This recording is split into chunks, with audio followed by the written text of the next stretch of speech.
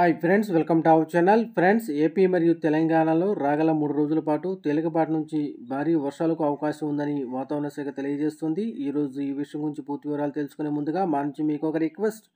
మా వీడియోని లైక్ చేయకపోతే లైక్ చేయండి. మీరు చేయలేక నాకు ఎంతో సపోర్ట్ ఎంకరేజింగ్గా ఉంటుంది.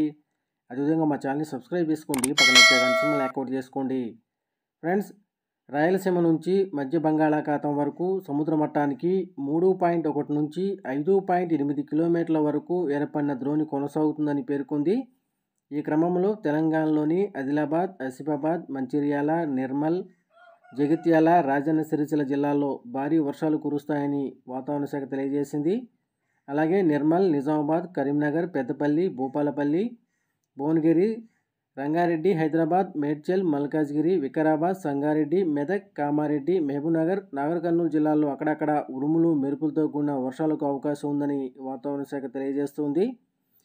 రాయలసీమ నుంచి పశ్చిమ మధ్య బంగాళాఖాతం మీదుగా మధ్య బంగాళాఖాతం వరకు సముద్ర మట్టానికి మూడు పాయింట్ ఒకటి నుంచి ఐదు పాయింట్ ఎనిమిది కిలోమీటర్ల ఎత్తులో కొనసాగుతున్న ద్రోణి దీని ప్రభావంతో కోస్తాంధ్ర రాయలసీమలలో రాగల ఐదు రోజుల పాటు అక్కడక్కడ పిడుగులతో కూడిన తేలికపాటి నుంచి మోస్తరు వర్షాలు కురుస్తాయని అమరావతి వాతావరణ కేంద్రం తెలియజేసింది. ఈ ప్రభావంతో అల్లూరి సీతారామరాజు పల్నాడు ప్రకాశం నంద్యాల సత్యసాయి వైఎస్ఆర్ అన్నమయ్య చిత్తూరు జిల్లాల్లో అక్కడక్కడ పిడుగులతో కూడిన తేలికపాటి నుంచి మోస్తరు వర్షాలు పలుచోట్ల భారీ వర్షాలకు అవకాశం ఉందని హెచ్చరికలు జారీ చేస్తుంది.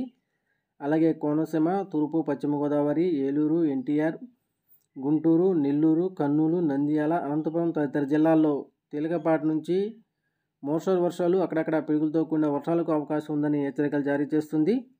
ఈరోజు ఈ వీడియో మీకు నచ్చినట్లయితే మా వీడియోని లైక్ చేసి షేర్ చేయండి.